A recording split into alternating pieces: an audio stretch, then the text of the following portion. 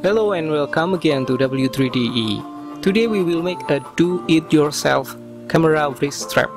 And for this project we will need about 50 centimeters of webbing and 25 centimeters of cord. You can buy new, but also you can reuse from old backpacks. And then for the cord, you can also use old shoelace. Just make sure they're still strong enough to hold the weight of camera. We will combine the cord and webbing using sewing machine. But if you don't have access to sewing machine, it's okay. You can stitch using needle and thread.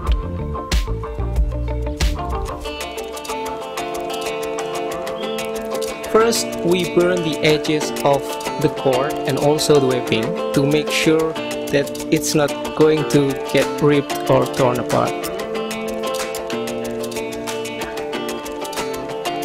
And then we make the initial sewing.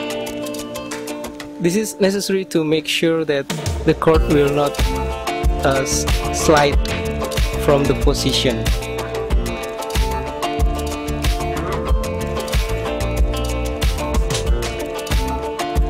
And next we put the cord inside the webbing.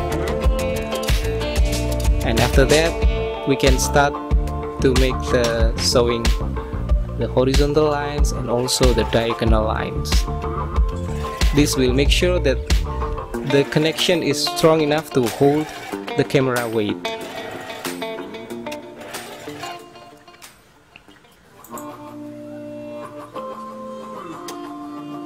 This is the 3D printed parts. We have two parts here. First one is the cover. This will be used at the position of the connection between cord and the webbing.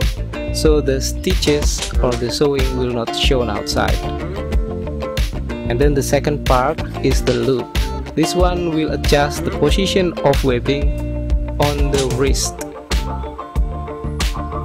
Next, printing these parts but we will only show you for one part the other one is not shown in this video and then move on we use matte coating to improve the surface of the 3D printed parts. Oops sorry. Okay then this is the assembling process. So we clean up the thread from the connection and then use some lighter to burn the remaining thread we need yellow glue to attach the cover to the strap. But first we slide in the cord inside the cover first to make sure it fits correctly. And then we put a thin layer of glue on the webbing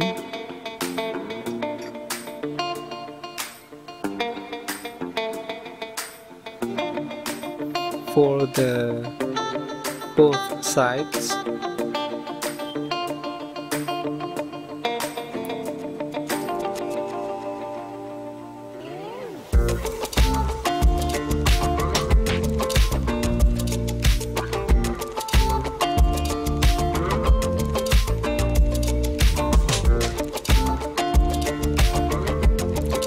We'll wait for the glue to get dry a little and then after that we will slide the webbing all the way in. Okay, last one we put the loop. So we slide the webbing inside the loop and that's it. We have the finished wrist strap. Now we will install this wrist strap to camera. So just put the cord inside first, inside the camera loop and then put the webbing inside cord and that's it. We have a camera wrist strap. Simple, right?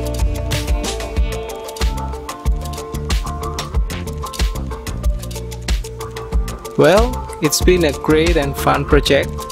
I hope I can see you soon in the next video. Don't forget to subscribe and have a great day. Goodbye.